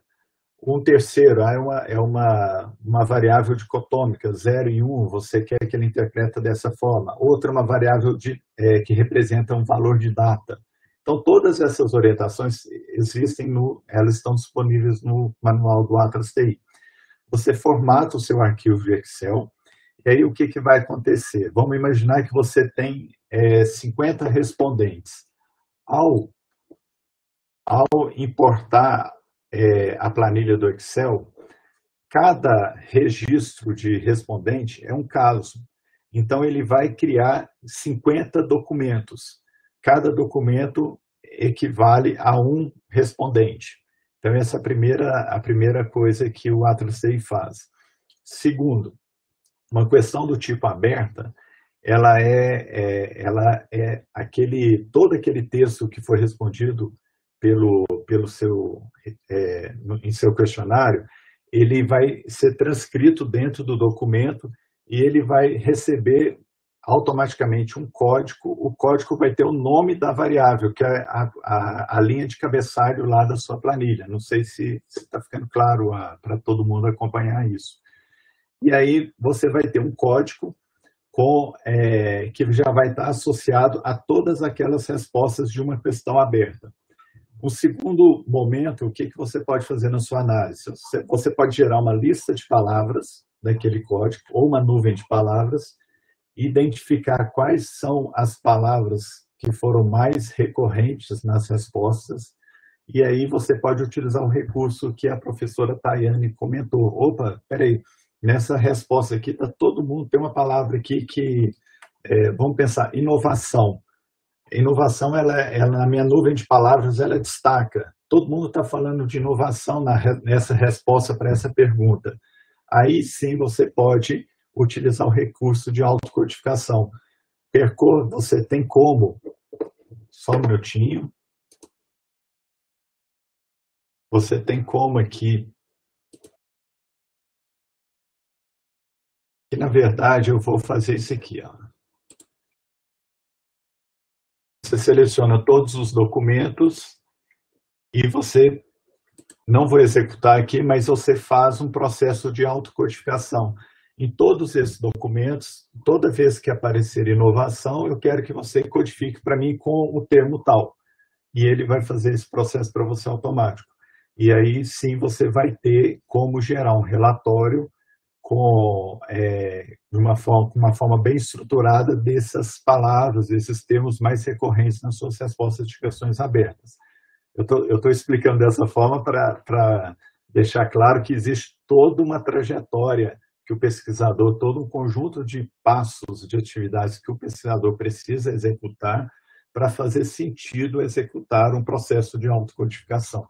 Mas é possível sim, e até voltando, né, àquela primeira pergunta, acho que é da Suelen, se tem como importar e trabalhar os dados do Excel dentro do Atlas CI. É dessa forma que eu comentei aqui. Você consegue, por exemplo, pegar uma planilha que está associada no seu Google Forms, por exemplo, e carregar essa planilha dentro do Atlas com nível já de pré-processamento de inteligência para facilitar a sua análise. Ok? Perfeito. É, e, e é isso, assim, e, porque na análise qualitativa, né, mais do que apareceu inovação 10 ou 20 ou 30 vezes, o que importa é o que as pessoas estão falando sobre inovação. Então, esse é um passo uh, de automatização que o software ajuda bastante, né? Mas depois você vai lá e identifica o que, que as pessoas estão falando, o que, que ela quis dizer com aquele termo, enfim. Isso, tá, tá é, a gente está no adiantado de hora, né, Rodrigo? Tem, tem a gente coisas. É, Opa, tem duas, não, tem duas outras coisas que eu, que eu queria mostrar, que eu coloquei aqui no meu roteiro, que é para a gente é, mostrar que é possível, mas sem, sem fazer a demonstração que não, não teríamos o tempo. Mas, como eu comentei neste último exemplo aqui da, dos dados de pesquisa que viriam de um arquivo Excel, ele tem também a possibilidade de é, trabalhar com tweets. Então, você, ah, nunca utilizei, mas você pode fazer uma, uma extração de tweets em alguns perfis e trazer aqui para o para você analisar. Ele tem aqui também é, integração com o Evernote, Evernote para você trabalhar os dados formatados lá em texto, imagem, PDF, será do Evernote. É, sobre o Mendeley, não especificamente o Mendeley, mas todo e qualquer gerenciador de referências, ele tem a possibilidade de você importar o conteúdo que você está utilizando, o seu gerenciador de referências para dentro do, do Atlas TI e ele, e ele organiza os dados de uma forma que ajuda numa montagem de, é, numa análise na montagem de dados de revisão de literatura, uma revisão sistemática de literatura. Então, isso é, é bem interessante. Voltando naquela pergunta, deixar bastante claro que o Mendeley é um gerenciador de referências. Exato. O Atlas é um software de análise qualitativa. O Atlas é muito mais do que é muito mais é, abrangente no que diz respeito ao percurso de pesquisa do que o Mendeley. O Mendeley é, ele é ótimo, eu utilizo muito para gerenciar as minhas referências. Eventualmente faço algumas marcações, coloco alguns tags, algumas coisas lá, mas não mais do que isso. Para trabalhar de uma forma assim integrada, combinando todos os materiais, o Atlas CI ele é muito mais oportuno para possibilitar bons resultados na pesquisa. Exato, é, a pergunta da Rita, né, se, se qual seria o melhor, ou enfim, mas e, e, ela mesma pergunta, né, se, se seriam complementares os softwares. São softwares diferentes, têm funções diferentes, né, Rodrigo, como você mesmo estava mencionando. Exato. E como a professora Tânia comentou, para exportação ele, ele, ele, eu nunca, nunca utilizei, mas ele tem uma um algoritmo de exportação para software estatístico, tipo SPSS, né, é, para aplicações estatísticas de um modo mais é, genérico, para ser usado, por exemplo, no R, no R, alguma coisa assim. Lembrando que só fará sentido a exportação dos dados estatísticos por SPSS se a organização que você tem dos seus, do seu nos seus materiais no Atlas TI possibilitar algum tipo de análise no software de, é, específico para análise estatística. Então, isso é, é, isso é importante. Mas, como vocês viram, tem toda essa questão de que ele coloca, que ele faz aqui da incidência de a magnitude da atribuição do, dos conceitos, a densidade das relações entre conceitos, quantas citações, quantos documentos, tudo isso pode ser eventualmente trabalhado com uma perspectiva quantitativa também. Então, é, é... E você pode botar né, nos relatórios é, um código sozinho, você pode uh, explorar matrizes, enfim, tem várias oportunidades ali que você pode depois salvar em PDF todos os trechos de um determinado código, ou fazer as, as tabelas né, de, de, de agrupamento e de análise. Tem bastante coisas assim avançadas que ainda é possível fazer dentro do software. Isso, exatamente. E a outra coisa que eu queria comentar também, é, nessa aba de análise, ele traz algumas funcionalidades aqui bem interessantes aqui para facilitar a análise. Então, coisas do tipo, ele, ele tem uma ferramenta de consulta que ele, que ele permite você combinar códigos diferentes. E aí você pode trabalhar com operadores. Ah, eu, eu quero o código A e o código B, eu quero o código é, Z ou o código X. Então, você tem todo um conjunto de operações. Aqui é um uso mais avançado da ferramenta, mas você pode criar o que ele chama de Smart Code, que é um código inteligente. Você grava esse código. Então, é, você pode combinar vários elementos da, é, que você tem no seu projeto numa expressão, e aí você pode utilizar operadores é, de proximidade, você pode usar esses mais tradicionais, ou e, não, né, um dia. Então, tem várias possibilidades aqui de construção de expressões para você gerar códigos inteligentes. Aí você está num, num, processo bem avançado de análise dos seus dados, que é justamente para você é, encontrar os seus achados de pesquisa mais relevantes. Então, ele possibilita esse tipo de recurso. E tem alguma coisinha um pouquinho mais fácil de trabalhar, que é uma montagem de uma tabela que você pode combinar código e documento, código e documentos, mais ou menos para você é, para você é, identificar quem está falando mais de de algum. Vou dar um exemplo aqui. Eu, tô, eu, eu incluí aqui é, cinco, cinco grupos de códigos que eu tenho aqui na minha pesquisa do mestrado. Identificação dos requisitos de informação, obtenção da informação, armazenamento, tratamento e disseminação. Observe que dentro de cada grupo, ele já me mostra aqui quantos códigos que eu tenho dentro de cada um. Tratamento da informação tem 48 e eu tenho 111 citações. E eu quero queria ver numa tabela como é que quem é que está falando de tratamento da informação. E aí a gente pode só um minutinho aqui, a gente pode incluir. Deixa eu ver se eu faço todos ao mesmo tempo.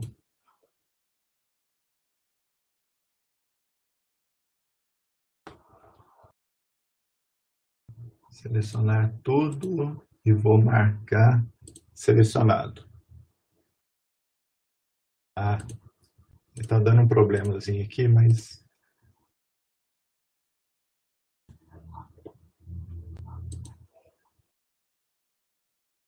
Mas para a ilustração está super bom, assim, é, mostrando é que... É marcar, todo, marcar todos. Então, olha, olha o que, que ele monta. Isso aqui a gente pode facilmente navegar. Então, como eu comentei, tratamento da informação, eu tenho 48 cortes, 111 citações. E aqui ele vai me mostrando, por, por documento, quem é que falou mais daquele assunto. Então, olha, olha para vocês verem, totalizando em 111. E é uma outra forma de navegar no resultado da pesquisa. Ao clicar aqui, ele já vai me mostrando as citações. Dentro desse documento 29, tem seis citações dentro desse outro quatro, dentro desse outro duas. E aí você navega facilmente e você consegue, se quiser, exportar para o Excel esta, esse tipo de tabela. Agora, o que, que pode ser mais útil, o que, que pode ser mais interessante? É, em vez de trabalhar com os documentos, que aí, se você tiver muitos documentos, talvez pode tumultuar um pouquinho, se você tiver alguma lógica de agrupar os documentos que você está analisando, por exemplo, aqui a gente fez uma, uma estratificação por continente. Então, da mesma forma, ele pode, você pode selecionar códigos ou grupos de códigos e analisar onde que eles aparecem por, por é, no caso aqui, por continente. Isso aqui é um exemplo interessante, talvez, para, numa revisão sistemática de literatura, é, você analisar o que, que a comunidade científica norte-americana está pensando, discutindo sobre determinados conceitos e o que a comunidade europeia, o que, que a comunidade asiática, o que a comunidade brasileira está discutindo. E aí você facilmente nessa tabela você consegue discernir que determinado conceito, determinado fenômeno, ele é discutido e valorizado, por exemplo, na comunidade brasileira, mas ele não é discutido pela comunidade europeia. E tudo isso pode te ajudar na elaboração do seu relatório de pesquisa, por exemplo, de uma revisão, de uma revisão sistemática. É, você pode apontar gaps de pesquisa com um tipo de cruzamento dessas, é, desse tipo que eu estou fazendo aqui. Ou ênfases né, de pesquisas já desenvolvidas é, por, por algum critério de estratificação. Então, são ferramentas muito, muito interessantes que o Atlas tem no, no, nos, nos permite utilizar. É, eu queria mostrar isso aqui porque acho que esse tipo de análise aqui de tabela código... Essa é a parte mais importante. É, significa bem o potencial, tipo, que os ouvintes, né, quem nos acompanha deve estar fazendo a pergunta, mas vale mesmo a pena utilizar um software? É, essa é a parte mais... Dependendo do que você pretende na sua pesquisa, vale, vale muito. Porque como, e pense, o, o Rodrigo estava trabalhando aqui com se eu não me engano, 35 documentos, e imagina, são mais de, de 200 códigos que, que, ele, que ele codificou, né? foram agrupamentos, e realmente você fazer isso é, sem o auxílio de um, de um, software fica bem difícil, né, Rodrigo? E esses cruzamentos, essas, esses potenciais que, que as tabelas, né, e a, e a, e a exportação, a visualização de, de, desses cruzamentos sensacional, assim, é um potencial Isso. bem grande mesmo da ferramenta. Pois é. E, e Tayana, a última coisa, porque não vamos explorar o, o, o meio-dia, mas a última coisa, que da última vez a gente não mostrou, é, que talvez acho que isso chama um pouquinho de. Vou tentar mostrar. A tela está sendo compartilhada? Está sim. É, o pessoal às vezes sempre. Agora da tela o projeto isso, 2027. Pergunta e a gente é, talvez pode ficar parecendo, sei lá, um, uma certa certo comodismo, ah, você só mostra documento de texto. Não, então, é. Eu, eu fiz um, um, exercício aqui, né, a minha versão é, de, é demo, para mostrar o seguinte, ah, mas tá, e como é que a gente vai trabalhar com um arquivo de áudio, um arquivo de, de vídeo?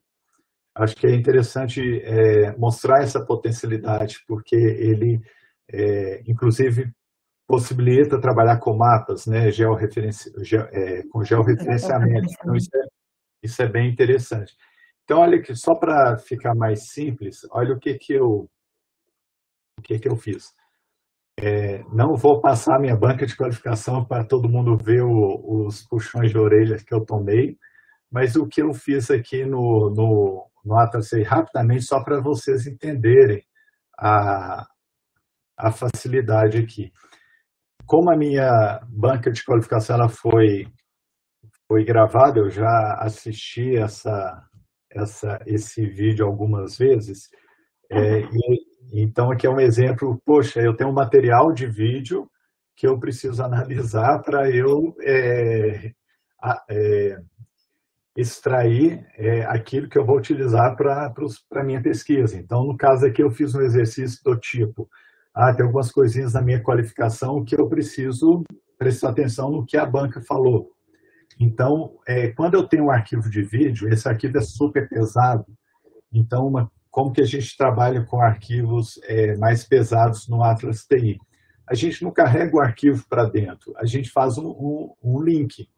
Então, a gente tem o comando de adicionar vídeo, áudio é, no, no Atlas CI, que na verdade é um vínculo. Você tem esse arquivo está salvo no seu computador em algum lugar, mas ele apenas faz uma, um link. E aí eu tenho aqui o arquivo, né? Da, se eu colocar aqui para para executar, só um minutinho. É, Aqui o início ele deu uma falha. E a vontade aqui. Primeiro, então esse aqui é, a, é esse aqui é o, o, o vídeo da minha banca de qualificação. Agora olha que interessante. O que, que a gente faz? A gente pega a semelhança de documento, a gente pega trechos do vídeo e também cria citação, também cria codificação. Então, teve, só dando um exemplo, é, no meu projeto tem uma, uma coisa que eu coloquei que a banca, é, dois membros da banca é, falaram assim, olha, presta bem atenção nesse conceito que eu não, não, gostei muito desse conceito não, você tem que definir isso melhor, que é um conceito de otimização do fluxo de informação. E aí o que? Opa, opa aqui eu tenho trecho do, de um dos professores, que foi o professor Sanches, só que no no, quase no meio da fala dele que ele fala de otimização. Então eu marquei o trecho do vídeo que ele fala de otimização. E aí eu quero rapidamente voltar naquele trecho, né? Imagine que isso aqui poderia ser uma entrevista gravada. rapidamente você volta naquele trecho. Então, vou, eu rodo só o trecho. Vou dar esse exemplo aqui.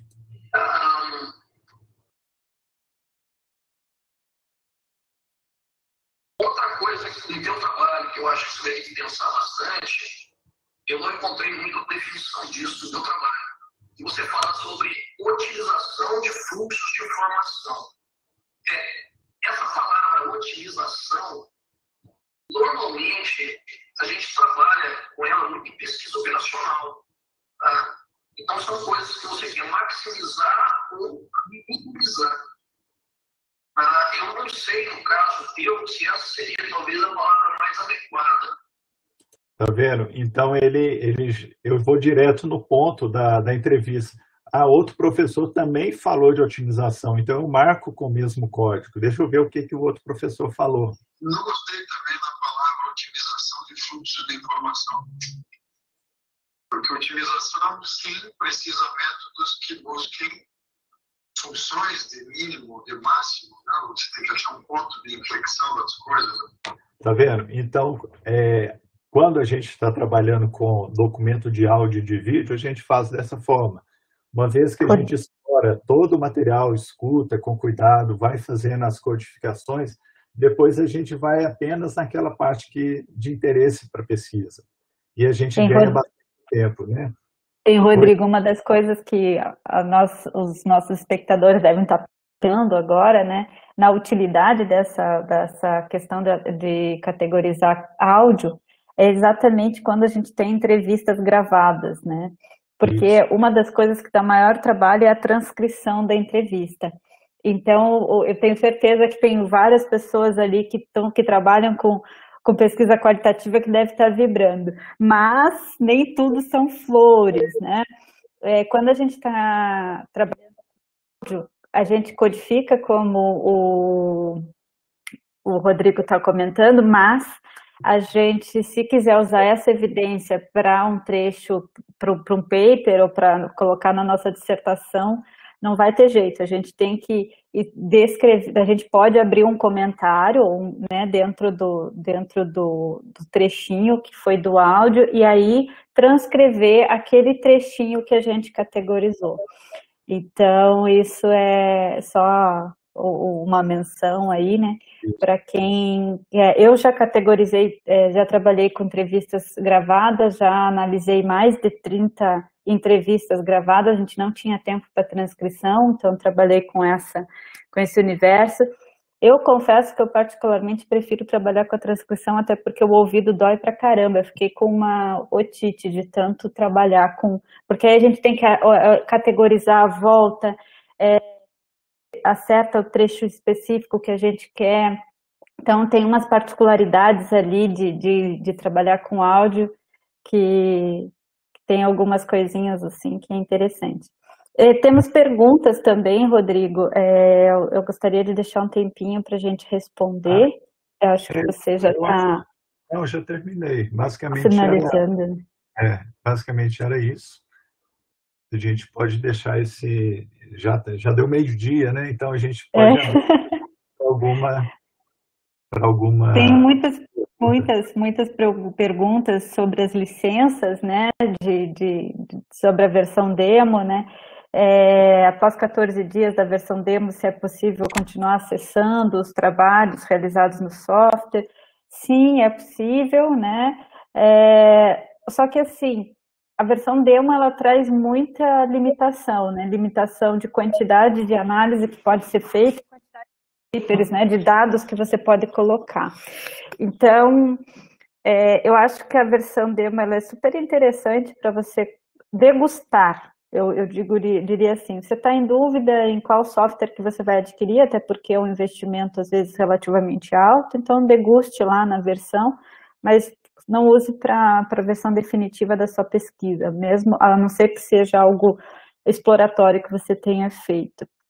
Com relação à, instituição ou somente aquisição individual, Jefferson, existem três modalidades da aquisição do software. Só para vocês terem uma ideia, a licença do Atlas para a versão de estudante, para quem tenha algum vínculo né, com qualquer instituição de ensino, é só vocês enviarem a carteirinha de vocês ou o comprovante de matrícula para Atlas, vocês adquirem a licença a 99 dólares. Agora o dólar está alto para caramba, então isso sai um pouquinho mais caro, mas é um preço relativamente interessante. A versão é, para pessoas que não têm vínculo nenhum, né, para pessoa física que queira adquirir, ela custa em torno de 4 mil reais. Porque ela é em dólar e o dólar subiu para caramba, então consideravelmente a licença ficou super alta. E existe sim é, a, a questão de instituições, onde uma instituição de ensino, por exemplo, ou governamental, enfim, pode adquirir, até mesmo empresas, né, adquirir é, uma versão corporativa, né, de, de, que sai um pouco mais acessível para, para os clientes. Então, tem essas informações são todas lá no site, mas tem esses três tipos de, de licença. licença para instituições, a licença individual, né, e a licença para estudante. Sendo que a licença de estudante, ela realmente é bem mais acessível aí de ser adquirida, certo? Uhum. Temos outra pergunta, acho que tinha uma pergunta para trás do, do Márcio, perguntando qual que era a diferença do uso de memos e comentários não sei se você quer responder, ou, Rodrigo. É, a questão do a questão do comentário é o seguinte: o comentário ele fica associado ao, diretamente ao componente no qual você inseriu o comentário. É um comentário do projeto, ele fica no projeto. Comentário do documento no documento e assim por diante. É, no caso do memo, você, o memo ele é um, um, como a gente falou no início, como se fosse um, um editor de texto, obviamente com funcionalidades mais limitadas, não se compara com, com Word, por exemplo, mas ele é um editor de texto que você pode é, criar, é, fazer a construção do seu texto e, e esse memo você pode inclusive relacioná-los a um ou mais componentes do seu projeto. Então, dependendo do tipo de do seu tipo de análise, você pode optar por concentrar todos os seus comentários em um memo e relacionar esse memo com os respectivos códigos ou documentos que têm ligação com o que você anotou no seu memo. E ele também permite você fazer textos longos, né? O comentário você tem uma, uma limitação de tamanho. Então, os comentários dos componentes são pequenos comentários naqueles componentes não são tão pequenos, não, dá para dá, dá escrever bastante. Mas o memo possibilita você fazer textos bem mais extensos. O interessante é que tanto memos como comentários você facilmente joga, você exporta para um formato RTF, um ponto .doc, e você pode depois fazer uma formatação e adequação do seu texto. Eu utilizei bastante isso no meu relatório de pesquisa, na dissertação do mestrado eu escrevi muito no Atlas TI e eu já tive a preocupação de já caprichar na redação científica no, dentro dos meus comentários e memos no Atlas TI para ao exportar para o Word eu já tivesse o meu texto quase quase pronto e eu fiz refinamentos depois no meu arquivo da dissertação. Né? Então, assim, facilita para a gente não ter que hora está no Word, hora está no Atlas TI, hora está no Word, no Atlas TI. Você já pode fazer a, a, toda a sua construção literária no Atlas TI e depois exporta para o, para o editor de texto. Ok? É, Rodrigo, a minha sugestão, acho que agora a gente poderia tirar a apresentação e mostrar as nossas carinhas, né, com a nossa câmera, para ver se tem mais alguma dúvida e encaminhamento para o fim da oficina, né? Mas estamos abertos para dúvidas. É, eu vou estar ministrando no TPGI esse semestre, condensada na última semana de julho, onde a gente vai aprofundar um pouco mais sobre análise qualitativa de dados e com o uso de software. Então, alguns de vocês pode ser que estejam matriculados, a gente vai aprofundar mais esse tema aí, é, junto com a professora Márcia, Rodrigo também vai ser um dos nossos convidados, né, para a gente explorar ainda mais essa questão. Se tiver mais alguma dúvida, o Alex, a gente está à disposição. É, pelo que eu estou vendo aqui, professora, no Facebook não tivemos nenhuma colocação. Eu acho que aqui também no chat da sala, aparentemente, não temos mais perguntas, então. Então eu aproveito para agradecer, é, em nome do comitê organizador aqui do CITIP, pela disposição e disponibilidade da professora e do Rodrigo em trazer para a gente informações é, a respeito desta ferramenta e também até um pouco mais, né, expandindo até a, o panorama, mostrando um pouco da experiência dele, assim, o que é fazer um, um relatório de mestrado usando uma ferramenta, ele conseguiu transparecer um pouco disso e mostrar a diferença que seria com e sem ela, então foi bem enriquecedor por causa disso também. E por causa disso nós agradecemos muitíssimo. Gostaria de, antes de encerrar então, é, só lembrá-los que é necessário preencher o, o questionário de presença. Eu vou colar novamente aqui no chat o caminho para o questionário de presença. E vou colocar lá no Facebook novamente também o caminho para o questionário de presença e revelar a segunda palavra secreta para a resposta a esse questionário, que vai dar direito à presença e ao certificado de participação, que é, vou escrever aqui também, qualitativo. Tá? Qualitativo. Essa é a segunda palavra. Então, ao responder, lembre-se dessa palavra que é a segunda, a primeira já foi mencionada antes. Eu gostaria de lembrar também que ao concluirmos aqui esse vídeo já vai ficar disponível no Facebook na página do Facebook do programa, do PPGGI, é, e que o questionário ele fica disponível por 24 horas, então não precisa ter muita afobação em responder agora, por exemplo, que é meio-dia, né? Todo mundo pode almoçar, ficar tranquilinho, é, responder em até essas 24 horas a contar de agora. O importante é só responder corretamente com as palavras. Se esqueceu alguma coisa, o vídeo vai estar no Facebook e pode ser revisto lá. Então não há nenhum motivo para preocupação, tá certo? Novamente, eu agradeço a presença dos palestrantes hoje, o conteúdo importante que eles trouxeram para nós. Agradeço muitíssimo aos participantes também pelo interesse e pelo prestígio. Nós ainda temos mais sessões no CIDIP hoje, são as últimas, nós ainda temos. Eu espero encontrar alguns de vocês nas próximas sessões. Muito obrigado a todos, fiquem muito bem, até breve. Obrigado, professores. Gratidão. Obrigada, se cuidem. Até a próxima. Obrigado Parabéns a pelo CIDIP. Fiquem bem todos e todas.